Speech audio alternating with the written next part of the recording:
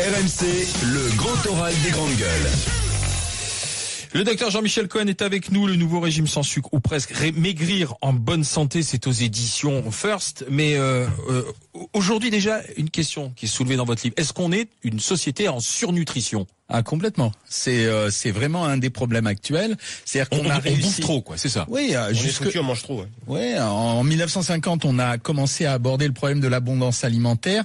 Puis cette abondance c'est devenu une surabondance et on a une poussée permanente du surpoids et de l'obésité. Avant, on considérait ça comme un sujet mineur, mais en fait, c'est un sujet de santé publique parce que euh, l'obésité ou le surpoids, ça va concerner la sécurité sociale. On a 3 600 000 de diabétiques à l'heure actuelle. On a environ 50% de la population qui est en surpoids, c'est des gens qui vont déclencher des maladies cardiovasculaires et euh, ou d'autres pathologies. Ça, ça va coûter vraiment très très cher à la société. Donc c'est un problème de santé publique global. Mais pourquoi est-ce qu'on on est dans cette surnutrition? Parce qu'on est tout le temps tenté, on est entouré de entouré de nourriture, quoi. C'est ça? J'arrête pas de dire que le problème de la nutrition aujourd'hui, il est intimement lié avec les problèmes économiques. Vous êtes un industriel de l'agroalimentaire, vous recherchez de la croissance. Comment vous faites de la croissance? En créant de nouveaux produits, en créant de nouvelles variétés de produits, en essayant de séduire de plus en plus la population avec des produits dont ils vont euh, avoir euh, un, désir de reconsommation. Et, comment on fait? Ben, On va rajouter euh,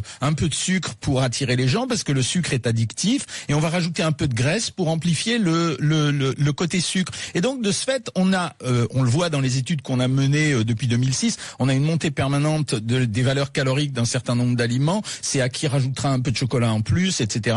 Et donc, gens qui sont quand même dont le cerveau est imprégné et par la publicité et par l'appétence qu'ils vont avoir à l'intérieur du supermarché, ils vont acheter et donc consommer. Et l'industrie agroalimentaire, elle a besoin de se nourrir de ça, c'est pas un jeu de mots. Et donc la croissance va de pair avec la croissance de l'obésité. L'industrie agroalimentaire nous propose des produits, c'est une chose. Après, il y a la responsabilité individuelle. On, je veux dire, on peut très bien passer à travers les rayons et ne pas les acheter, aller plutôt vers des fruits et des légumes, vers de la viande blanche, vers du poisson. Quoi. Pas du tout, ça a été euh, expérimenté. On mettait des, des, rats dans des cages avec des produits extrêmement appétissants. Ils grossissaient tous. On les mettait dans des cages où il n'y avait pas de produits appétissants, mais une nourriture pour les nourrir. Ils ne grossissaient pas. On inversait les cages. Ils se, ils se produisaient exactement le même phénomène. Donc ça veut dire que quand vous êtes dans un environnement de stimulation alimentaire, pareil que quand vous êtes à un buffet dans une réception, à un moment donné, vous allez consommer plus que ce que vous auriez décidé de manger. Et c'est ça la problématique. Et la publicité joue un rôle très très important parce qu'elle imprègne votre cerveau et qu'à un moment donné, quand vous voyez quelque chose de très appétissant, bah allez, on y va, on va le goûter. Et vous n'êtes pas capable de mesurer ce que vous avez mangé à la on va dire stop à l'industrie agroalimentaire parce que vous dites en plus, non. Euh, c'est comme presque comme l'industrie du tabac, c'est-à-dire qu'ils mettent exactement dans les aliments ce qui nous rend euh, accro, quoi. C'est ça. Non, non, non. Il faut dire stop, ou faut les attaquer ou euh, faire un procès. Je parle des effets négatifs de l'industrie agroalimentaire. Mais sans industrie agroalimentaire, de toute façon, on ne s'alimenterait pas.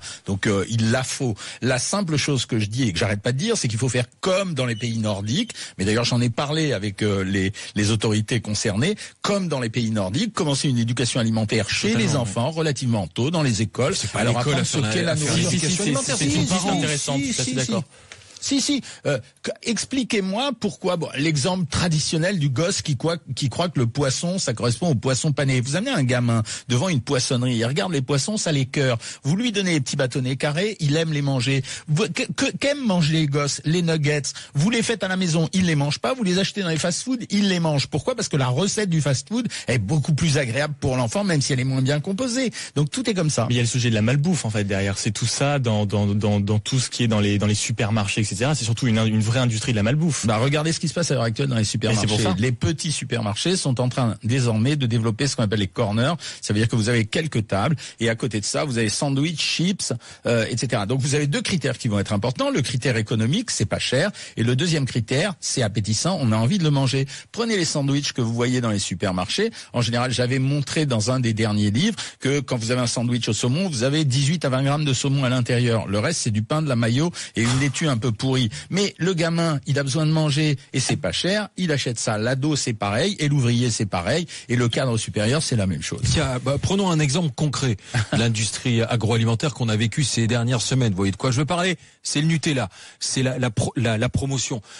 Euh, on nous a dit c'est lié au pouvoir d'achat. On nous a dit c'est lié à la malbouffe. Après c'est euh, Intermarché, je crois, qui s'est euh, retrouvé accusé. Ce sont les trois facteurs, mon capitaine, ou qui est responsable dans cette histoire alors? Le consommateur principalement parce que le Nutella c'est une pâte à tartiner. Ça veut dire que normalement elle s'étale sur du pain et vous en prenez deux trois cuillerées à café.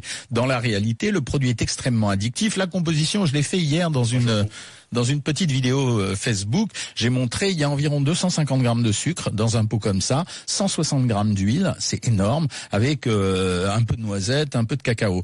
Euh, quand vous le mangez à la petite cuillère, cette addiction au sucre, c'est pour ça que j'ai écrit ce régime sans sucre, cette addiction au sucre, elle fait que vous avez envie de remanger la cuillère. Et je suis victime, et je le dis moi aussi, s'il y a un pot de Nutella chez moi, je vais le manger. Non mais c'est vrai, vous me connaissez, donc je vais le manger parce que je vais être addict à ce produit. Donc nous, on est responsable, c'est le consommateur, et on va pas supprimer le Nutella. C'est une recette alimentaire. Le produit est plutôt, en dehors de l'huile de palme, euh, le produit est agréable à manger. Donc euh, voilà, c'est pas c'est pas nocif si on n'en mange pas en quantité absolue. Quoi. Voilà, mais c'est un produit qui est pas cher parce que par exemple un baba au rhum, euh, un Saint-Honoré, un éclair au chocolat, vous en avez pas tous les jours. C'est à peu près aussi bon que le Nutella, mais c'est beaucoup plus cher et vous n'avez pas l'accès à ce produit très facilement. Le Nutella reste quand même très cher. On a bien vu lors des réductions de 70% que tout le monde s'est jeté dessus justement parce que des familles qui n'avaient pas forcément la moyen ont profité de ça pour euh, pouvoir accéder justement à ce petit plaisir. Alors pardon, mais de vous dire, mais que l'histoire de la réduction euh, de, du prix du Nutella, ça a été euh, une énorme opération publicitaire de l'Intermarché parce que ils vont peut-être payer 300 ou 350 000 euros d'amende, c'est ce que ça va leur coûter,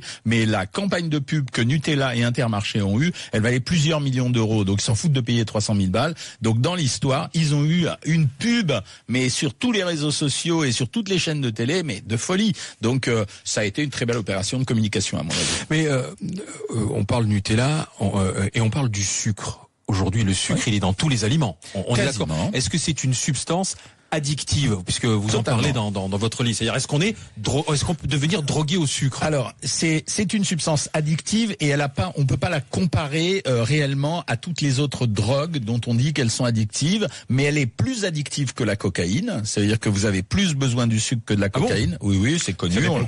on l'appelle la poudre. oui.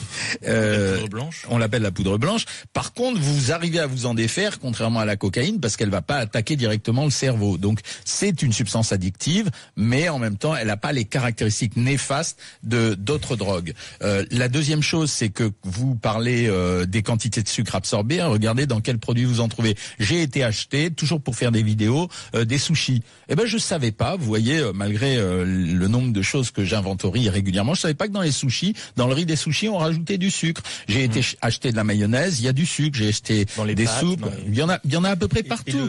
vous dites dans votre bouquin que le, ce qu'on appelle le faux sucre, hein, les édulcorants, c'est beaucoup plus dangereux que le sucre non, c'est pas beaucoup plus dangereux. Jusqu'à présent, on donnait avec facilité du faux sucre aux gens parce qu'on considérait que c'était utile pour les diabétiques, pour les gens qui avaient envie de sucre. On s'est rendu compte au cours de deux études vraies scientifiques euh, que les gens qui consommaient des édulcorants arrivaient à soulager leur désir de sucre, mais qu'en fait ils soulageaient pas leurs besoins caloriques, donc ils se dirigeaient vers d'autres produits et notamment des produits gras. Donc si vous voulez, moi qui ai donné pendant 20 ans ou 25 ans des édulcorants euh, vraiment de façon très détendue, aujourd'hui je dis aux gens quand vous faites un régime, effectivement, c'est plus intéressant pour vous d'arrêter complètement les édulcorants. Et quand vous faites un régime sans sucre, un, vous irez plus vite, ça, ça va intéresser toutes les jeunes femmes. Mais deuxièmement, ça va également vous permettre de suivre le régime probablement beaucoup plus longtemps. Et ces petites pilules qu'on a vu apparaître en pharmacie depuis depuis euh, un peu plus d'une dizaine d'années qui vous disent euh, si vous prenez deux pilules, vous réduisez le nombre de calories dans ce que dans ce que vous mangez par deux ou par trois. Est-ce que c'est On est bien chez les grandes gueules ici. Oui oui oui oui. oui. Bah, bah, c'est de l'arnaque. Oui, voilà, c'est de l'arnaque.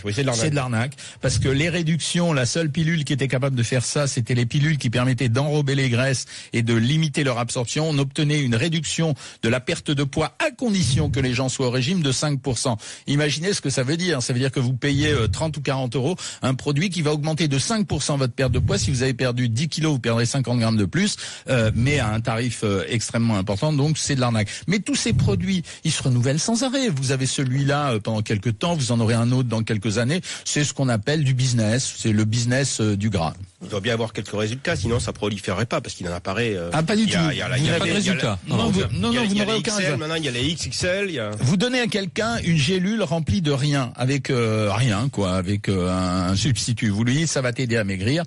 Une personne sur deux, elle va maigrir, elle fera le régime et elle pensera que c'est grâce à la gélule. C'est ce qu'on appelle l'effet placebo. C'est un effet d'influence. Charles Consigny.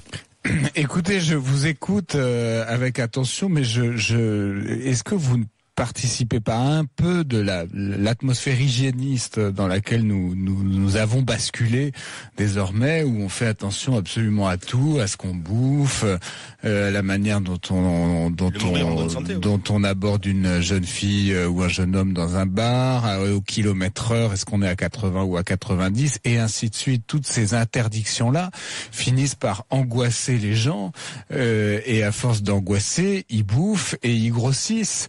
Euh, moi, je, je n'ai jamais fait de régime de toute ma vie.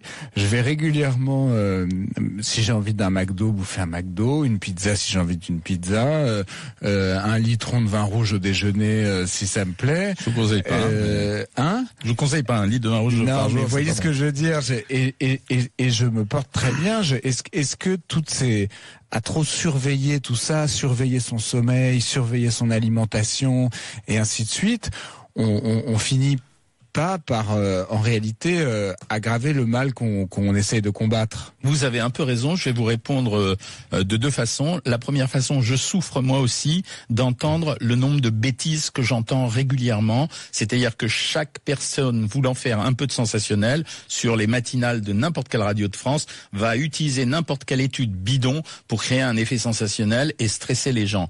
Mais la deuxième réponse, c'est que j'essaye de ne pas faire ça et ma réputation, si vous aviez suivi ma carrière, c'est d'être considéré comme le nutritionniste plaisir, c'est-à-dire de dire rien n'est interdit, mais euh, tout est en modération. Donc ça signifie que vous pouvez faire un régime avec des pâtes, vous pouvez faire un régime avec du chocolat, vous pouvez faire un régime avec de hamburger, vous pouvez prendre du vin, vous pouvez faire un bon écart, un bon repas de temps en temps, et en même temps, sachez que vous avez une génétique. Vous, euh, maître Consigny, euh, vous avez probablement une génétique favorable. Euh, je peux vous dire que si moi je me tape votre litron de rouge euh, et votre euh, burger et que je mange comme vous, je pense que je prends 10 kilos dans le mois. Je fais du sport. Bon. Oui, mais ça suffit pas. Ça Qu'on- suffit pas, Qu'on vous arrête de raconter des bêtises. Si on Le- Alors, sport, alors, alors, attendez, sur on peut arrêter de raconter des bêtises sur quoi? Sur le sport? Sur le sport, c'est-à-dire que on a deux slogans qui marchent très, très bien. On a deux slogans qui marchent très très bien à l'heure actuelle. Le manger 5 fruits et légumes par jour, euh, qui marche tellement bien qu'en l'espace de 10 ans, les Français ont réduit de 2,5% leur consommation de fruits et légumes. Donc ça marche bien quoi cette publicité qui inonde euh, les télévisions. Et deuxièmement, d'avoir fait croire aux gens que le sport suffisait à maigrir. Le sport ne suffit pas à maigrir. Si vous faites du sport et que vous mangez proportionnellement à votre appétit, eh bien soit vous maintiendrez votre poids, soit vous grossirez. Donc euh, euh, c'est une, ça fait partie de ces modes de régime de temps en temps. Quelle est la dépense calorique d'un exercice physique pendant une heure? Elle est de 350 à 400 calories, c'est-à-dire ben, ça dépend, mais Sur un 10 c'est la km, vous perdez plus de 300 calories quand même. C'est la sur, pardon Sur un 10 bornes, sur un 10 km, on perd un peu plus de non, 300 monsieur, calories. vous perdrez, vous perdrez sur un, ouais, peut-être 400 calories, mais c'est pas énorme. 400 calories, ça représente 4 yaourts nature. C'est pas beaucoup plus que ça. Non, Sur un 10 km, on est plus proche des 800 Ah, que des ouais, 400. je, je connais, je, je vous donne un autre exemple. Euh, marcher à 7 à l'heure pendant une heure dépense autant de calories que courir à 14 à l'heure pendant une heure. Ça, c'est des mesures de calorimétrie. Donc, euh, c'est une fausse idée. Donc, euh, ça veut dire que si, même si vous faites du sport, à moins d'en faire à outrance, il faudra quand mais- même mais- euh, Allez, contrôler votre la première fausse idée, c'est de faire croire que si on respecte tout bien et qu'on fait attention à tout, on va vivre éternellement. Voilà. Ça, c'est la la dictature du mourir en bonne santé. J'y reviens. C'est-à-dire qu'on peut faire tout ce qu'on veut. Vous essayez de juste un peu de prolonger la vie, mais vous pouvez pas, vous pouvez pas la sauver. On Voilà. la prolonge de bonne qualité. La, parce la que- bonne question est de savoir est-ce qu'on a envie de vivre 70 ans en profitant ou 80 ans- ou 80 en se privant de tout. Voilà. Alors, Euh, moi, pour moi, la bonne réponse, c'est de savoir si vous avez envie de vivre à partir de 70 ans avec une piqûre d'insuline tous les jours, ou si vous avez envie de vivre à 70 ans sans piqûre d'insuline tous les jours. La deuxième chose, c'est qu'on s'est rendu compte, l'espérance de vie elle a vachement monté. On s'est rendu compte qu'il y a un certain nombre de cancers. Je parle des cancers du sein, par exemple, chez la femme, qu'on peut éviter le sucre en étant justement pour une part responsable, comme certains types d'acides gras. Pourquoi j'éviterais pas d'avoir un cancer du sein quand je peux le faire? C'est, euh, ça fait partie du minimum. Ce que vous êtes en train de dire, c'est que vous supportez de moins en moins bien l'excès d'informations concernant ce sujet. Et moi, je dirais, je compléterai ce que vous dites en disant, c'est pas l'excès d'informations qui me dérange, c'est la mauvaise qualité de l'information. Parce qu'il y a beaucoup de gens aujourd'hui qui prennent la parole sur ce sujet sans savoir combien je vois à la télévision de coachs sportifs qui viennent vous raconter des trucs sur la bouffe, mais c'est complètement délirant. Peu importe du moment que la séquence est bonne. Mais derrière, il y a 500 000 personnes qui ont écouté leurs conneries. Voilà, c'est ça qui me gêne aujourd'hui. Et docteur Jean-Michel Cohen, bah, il est grande gueule, c'est pas pour rien qu'il est dans le, Ah bah le oui. grand oral des GG. Maigrir en bonne santé. On va parler justement aujourd'hui de euh, de ce qui s'est passé toutes ces dernières années où on nous a parlé de privation justement. Est-ce que c'était la la bonne méthode ou pas? Restez avec les grandes gueules. Grand oral continue. RMC, 10h-13h, les grandes gueules.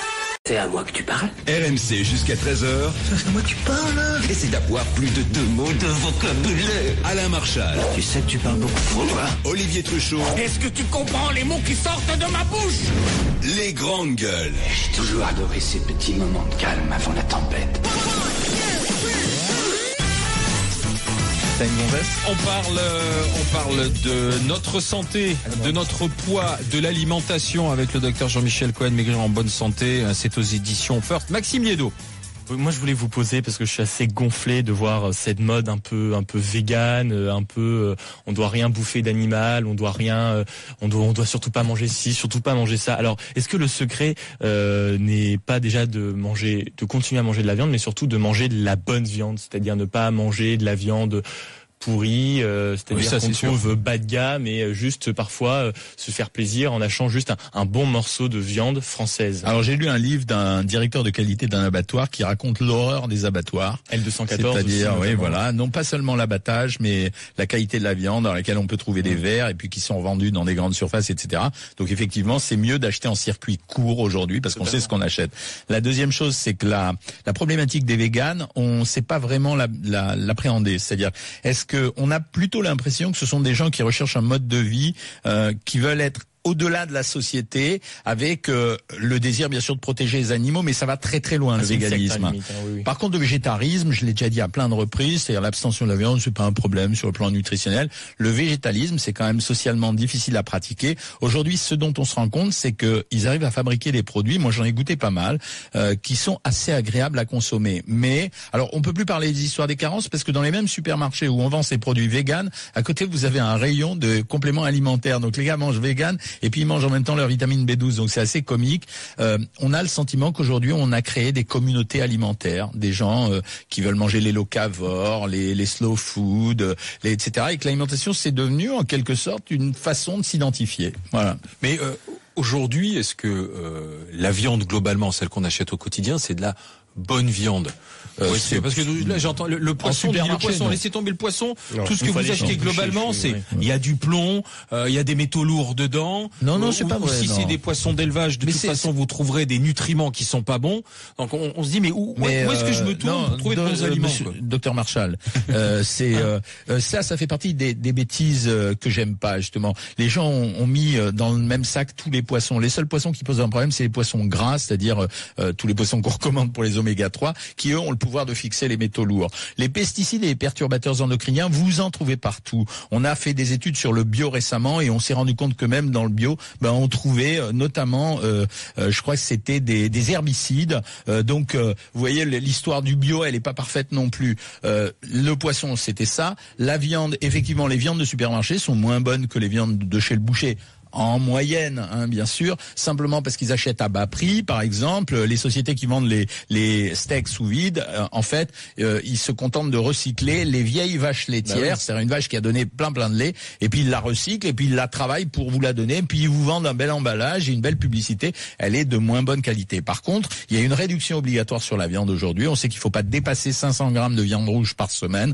pardon d'être hygiéniste, y compris la charcuterie. Parce que quoi, c'est cancérigène Voilà, parce qu'il y a une relation très forte entre le cancer ça, du côlon et la consommation. Oui, c'est- c'est totalement certain, c'est une consigne internationale. Mais en France, on n'est pas tellement menacé. La consommation moyenne des Français en viande, elle est de 56 grammes par jour. C'est pas énorme. Ça fait 350 grammes dans la semaine. Il y a que les gros mangeurs de viande qui sont concernés.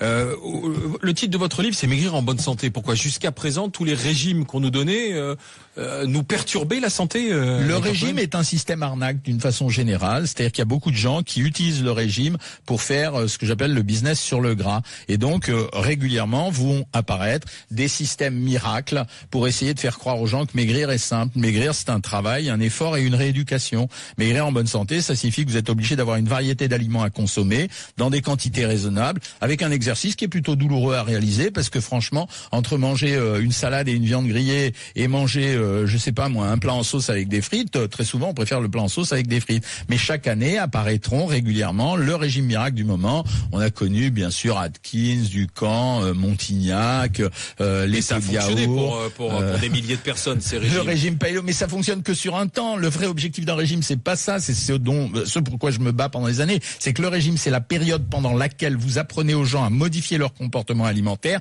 de telle façon à ce qu'après ils ne reprennent pas du poids. Les derniers temps, le truc, c'était le régime paléo. Mais enfin, franchement, c'est rien. C'est manger euh, les produits que vous trouviez à l'ère paléolithique, c'est-à-dire euh, la viande, les légumes, etc. Bon, franchement, mais, mais les gens sont tellement désespérés pour trouver une solution au problème de poids et c'est tellement angoissant et c'est tellement dans l'air du temps à cause de la mode, etc., qu'ils sont prêts à, à payer à chaque fois. Et puis il y a toujours un mec qui en profite. La dernière mode, c'est les plats tout prêts qu'on vous livre à domicile. Bon, eh ben, c'est un peu la même chose que dans une clinique. Une fois que vous avez fini le truc, ou vous restez abonné jusqu'à la fin de vos jours, ou de toute façon, euh, vous reprendrez votre poids. Et qu'est-ce Si qu'il faut vraiment éviter?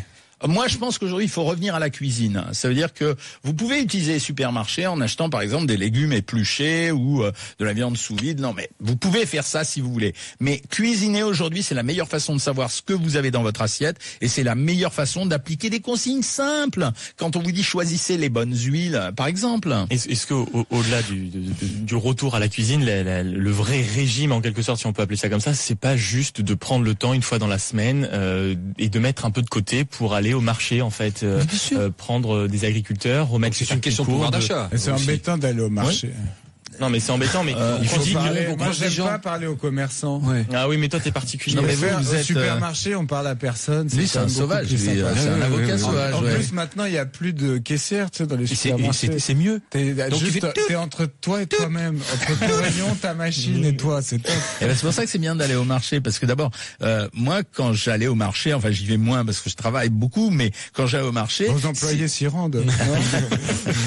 je demandais si j'achetais par exemple, je sais pas moi, une dorade, euh, le gars me disait ah, bah si vous voulez euh, mettez-la en papillote, rajoutez tel truc. Bon, il me donnait un petit conseil. Déjà, il me mettait en appétit pour le produit. Et puis quand j'achète un produit transformé, je sais pas ce qu'il y a dedans. Exactement, Euh, oui. Qui est capable Par exemple, vous prenez six catégories. Je vais reprendre l'exemple des poissons. Vous prenez six catégories de poissons panés différents. Vous avez six valeurs caloriques différentes et six compositions différentes. Et c'est pour ça que j'écris ces livres-là. C'est pour expliquer aux gens euh, ce qu'il faut acheter. C'est délicieux, les poissons panés. même. Euh, tiens, justement, puisqu'on parle des poissons panés, et mal mangeur. puisqu'on parle des poissons panés et des enfants, euh, et, euh, et ça m'emmène à parler des enfants et des cantines. Aujourd'hui, l'obésité, c'est un vrai problème. L'obésité, c'est parce que les enfants mangent mal à la cantine, aujourd'hui, entre autres, ou que les parents ne font plus à manger. Alors moi, je, je me bidonne parce que j'ai lu récemment euh, euh, une auto-congratulation euh, des pouvoirs publics sur la qualité nutritionnelle des repas servis en cantine. Et effectivement, euh, sur le plan nutritionnel, c'est assez bien composé. Le seul problème, c'est que une fois sur deux, c'est dégueulasse à manger. Donc les gosses ne mangent pas le plat bien composé nutritionnellement. Donc ils sont contents d'afficher aux parents. voilà. Bah, ils disent aux parents, voilà, on a fait un beau menu, il y a tant de protéines, tant de lipides, tant de fiche, voilà, glucides. de la fiche technique, elle est super, sauf qu'elle est mal cuisinée. Ça veut dire que le gosse, il vous dit, ouais, le plat, il était pas bon à manger, donc je l'ai pas mangé. Il va manger à 4 heures euh, sa brique de jus de pomme euh, plein de sucre, avec le petit gâteau X euh, qui est fait avec de l'huile de palme et avec une tonne de sucre, parce qu'il a pas mangé le midi le repas qui est bien composé nutritionnellement, mais qui est pas agréable à manger, parce qu'un enfant, il est pas bête, euh, il mange les bonnes choses et il, mange, et il laisse tomber les mauvaises Le choses. problème, c'est que les parents les, les laissent grignoter justement aujourd'hui, euh, les gamins. Bah oui, mais euh, ça veut dire qu'il faut reprendre aussi l'éducation des parents. Et quand on Bah, J'ai dit, vous êtes pour un petit manuel d'éducation Mais oui, nutritionnelle. Ouais, bien sûr, bien sûr, bien sûr. Euh, je- On a lancé il y a quelque temps sur le web des, ce qu'on appelle des masterclass, c'est-à-dire des, des petits cours d'information nutritionnelle vulgarisés pour les gens euh, qui qui savaient pas. On a un succès incroyable avec ce truc-là. Pourquoi? Parce que les gens sont avides d'une connaissance et d'une connaissance qui a une certification, c'est-à-dire euh, euh, si vous savez que ça passe par un professionnel reconnu, bah, ils apprennent. Et on a des questions qui sont vraiment surprenantes et intéressantes. C'est-à-dire, euh, ils vous posent la question de savoir quelles sont les quantités à prendre, euh, qu'est-ce qu'il y a dans tel aliment. Et c'est vraiment ce qu'il faut faire aujourd'hui. De l'éducation. Ouais. Et euh, tout à l'heure, on a parlé du pouvoir d'achat avec euh, Nutella. Euh, Aujourd'hui, si on veut manger correctement, profiter de la viande, des circuits courts, euh, des bons légumes, ça a un prix. Bien sûr. Euh, est-ce que Je- je reprends un autre que- exemple. Juste, euh, bah, bah, je vais enchaîner Vas-y, par rapport à ça, c'est-à-dire que est-ce que euh, on, on dit souvent que la, la malbouffe coûte plus cher que la bonne bouffe. Non, c'est pas vrai. J'ai j'ai regardé par exemple, j'ai été acheter la dernière fois des kebabs pour faire euh, une expérience et comparer les kebabs aux burgers, etc. Euh, Mmh. Un kebab avec les frites, le pain, la viande, qui faisait à peu près 1200 calories. Hein. 1200 calories, ça représentait un kebab. Mais c'est ça bon, un nourrit. bon hein. kebab. Ah, ok, ça valait 4,50 euros. Quand j'allais euh, acheter le burger, euh, le gros burger, euh, double burger, etc., ça valait 5 euros. Et en même temps, euh, j'avais euh, 650 calories.